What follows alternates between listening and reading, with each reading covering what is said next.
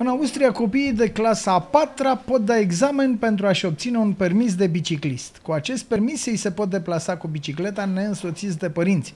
Această practică poate fi aplicată cu succes, mai ales în mobilitatea școlară. Cum îi pregătim pe copii pentru a alege mersul pe bicicletă sau pe jos ca principal mijloc de deplasare?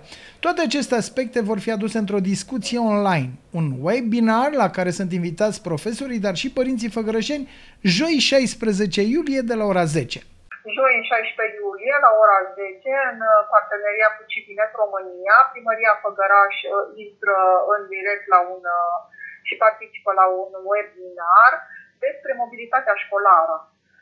Copiii, părinții, cadre didactice au ocazia să se înscrie și să participe la acest webinar. Făgărașul își prezintă campaniile privind uh, modul de deplasare ale elevilor la școală și mai este un invitat din Graz care uh, ne dă un exemplu de uh, bună practică privind circulația elevilor pe bicicletă și testul care îl dau ei în clasa 4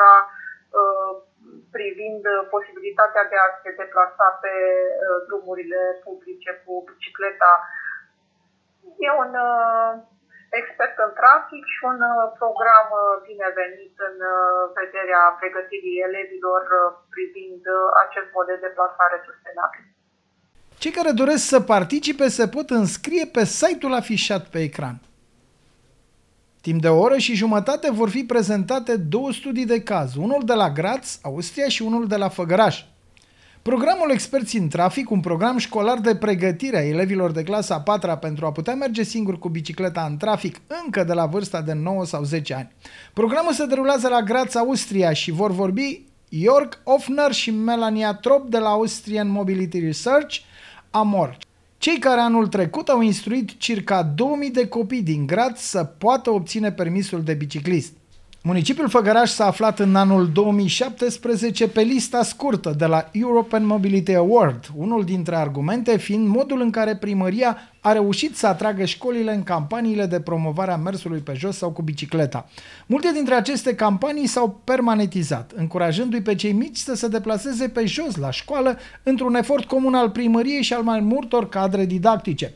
Vor participa la discuție profesorul învățător primar Gabriela Cocan, profesorul Aurelian Curticăpean și Dacia Săpătoru, consilier la primăria Făgăraș, care vor împărtăși ideile și experiențele lor. Amintim că municipiul Făgăraș are în implementare proiecte europene de 30 de milioane de euro care au o componentă importantă de mobilitate școlară. Spațiul din jurul mai multor unități de învățământ, grădinițe sau școli urmează să fie pietonizat și echipat cu piste pentru biciclete, încurajând astfel deplasarea celor mici la școală, pe jos sau cu bicicleta, într-un mediu sigur în care mașinile nu mai au acces.